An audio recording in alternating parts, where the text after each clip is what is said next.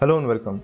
Today we are going to show you how a remote code execution vulnerability when shipped in a vulnerable Docker image results into a vulnerable web application that uh, we are going to build using the same Docker image. So this is a simple backend of this web application. So we are going to use a simple Fastify web application backend. So what this does is this Fastify web app uh, ships with this convert binary and using this convert binary we can resize any image into uh, any size like if we give it a large image then we can resize that image into 280 by 150 pixels right? And uh, as you can see we are passing arguments as strings to this particular convert binary. That means using a string concatenation remote code execution is not uh, possible. So this vulnerability is existing because of the third party component that ships with docker images. So the need to scan docker images is uh, of great significance and additionally this video is sponsored by chainguard.dev and in the end of this lecture we are going to show you how we can use and integrate chainguard to secure your development workflow so that we can secure our web applications from these type of attacks by scanning the container images. So let's have a look on this docker file. So as we can see we are using nodes runtime version 6.1.0 and then we are going to make a folder called as user src goof in the container. And then we are going to copy uh, this repository and we are going to set the working directory. We are going to execute a system command called as who am i. So i'm going to show you the significance of this who am i command uh, later in this video when we are going to integrate Chainguard in our web, web application workflow. So and finally we are going to expose these ports and execute run M, uh, npm install. So what this will do is it will install all the dependencies that are specified in this package-lock.json right so without wasting much time let's go to the terminal. And uh, before doing this we need to ensure that the docker daemon is running. So we can print all the containers that are running. So currently we have no running containers. And if we go to docker as we can see this is the docker. We have no images built. We don't have any existing builds. Right? And yeah. So first of all we can do ls dash l or yeah ls dash l doesn't work in powershell. We can do ls. Uh, and as you can see we are in the we are in this repository and docker file is present in the current working directory. So first of all we are going to build that image using docker.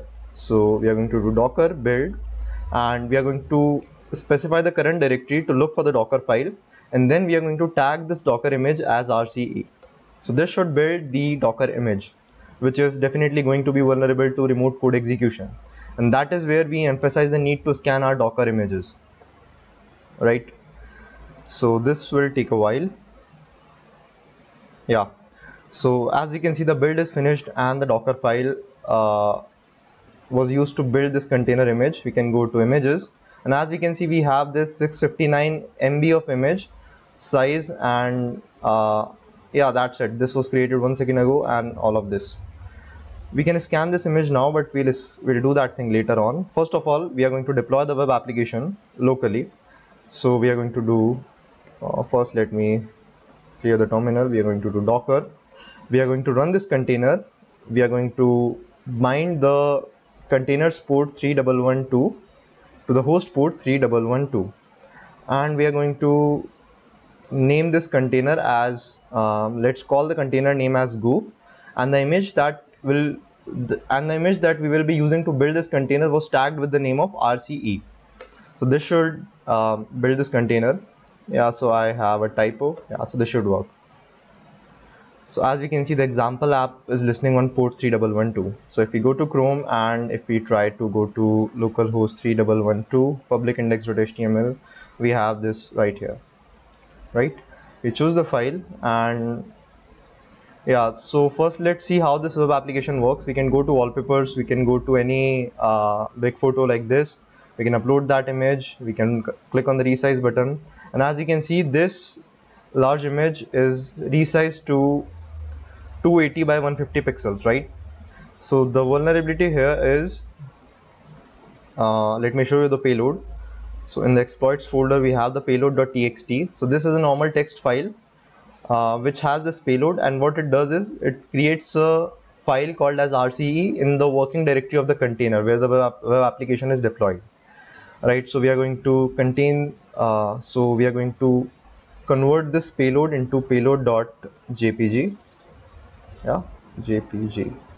So now that we have our payload converted to payload.jpg we are going to go to this and we are going to upload that file right? So we have exploits we have payload we can open it and we can click on resize so as we can see we can't see the image because because that was basically a payload and the image resizing is success. And if we go to docker and let's go to containers we have this container running and we need to shell into the container. We can also use a command called as docker exec it or something to shell into the container. Let's do ls dash l.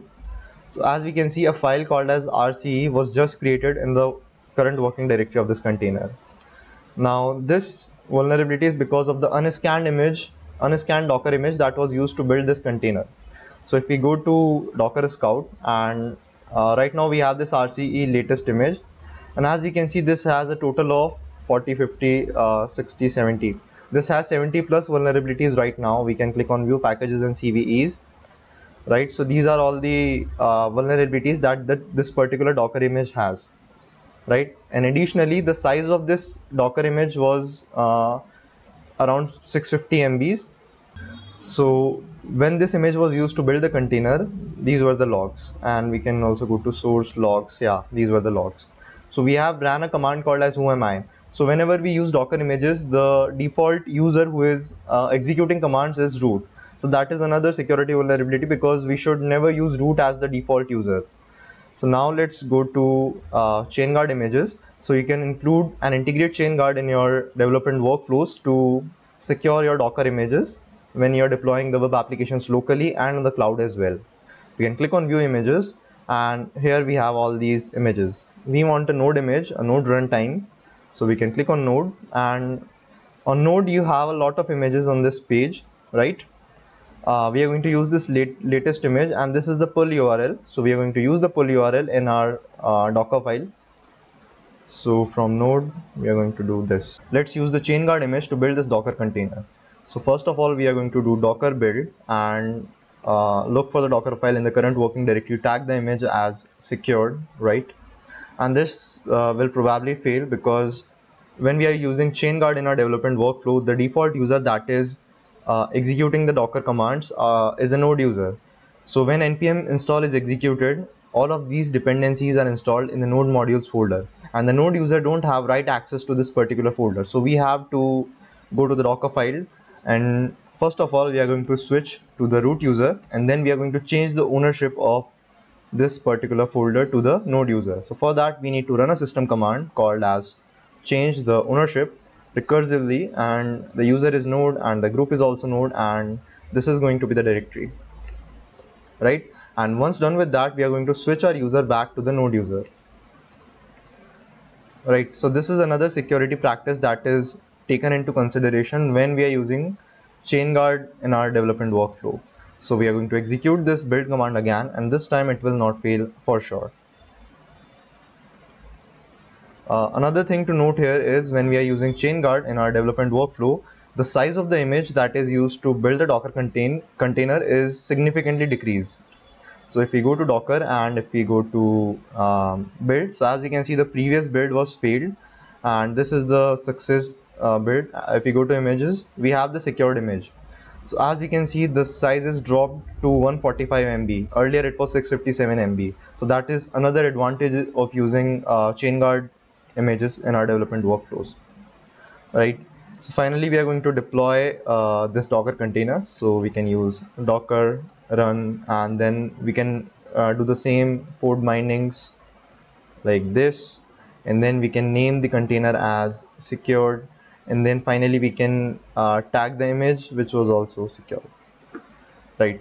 So if we go to docker and if we compare these two images so the earlier image had uh, a total of a lot of vulnerabilities like we can go to docker scout right? So this is a good tool to compare these things.